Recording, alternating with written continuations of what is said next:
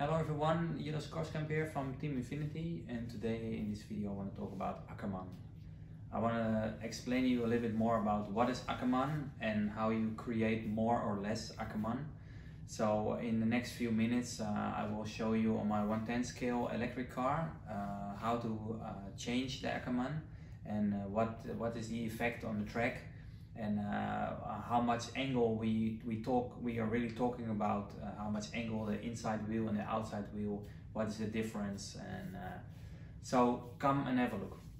Now looking at the car, um, I took my electric IF14-2 Infinity car and um, as I will show you now uh, the Ackermann effect and um, uh, you can see that uh, the inside wheel has more angle than the outside wheel and that is called the Ackermann effect. But the Ackermann can be changed by using more or less shims on the Ackermann plate in the middle and uh, or the steering rack. And um, yeah what uh, what we will change. So now for example I um, set the maximum steering angle lock at 27 degrees.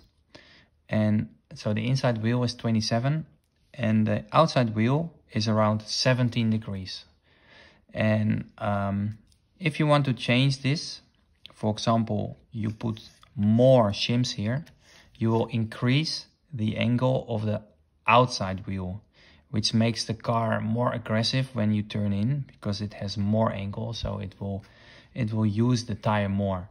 But that also means that it has less Ackermann because Ackermann effect is the difference between the inside and the outside wheel. The more the difference is the more Ackermann effect it has so it has more Ackermann so in general speaking um, you will say if you add more shims it actually has less Ackermann.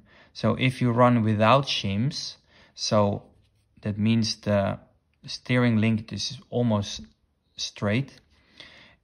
This outside tire turns less, which has the effect of more Ackermann because the difference between the inside and the outside tire is more. So a lot of people uh, think it's the opposite. So you add more shims, you have more Ackermann, but actually it's the opposite. So again, if you increase the amount of shims, so you have the steering linkage in an angle, you will increase the outside wheel, uh, how much um, angle it has. Uh, it makes the car more aggressive, has a little bit more steering, but you will also use more tire so during your run, maybe you have a bit more drop. Um, yeah, so that is uh, my explanation about the Ackermann. Thank you again for watching my video. I hope this was helpful for you and uh, hope to see you again soon.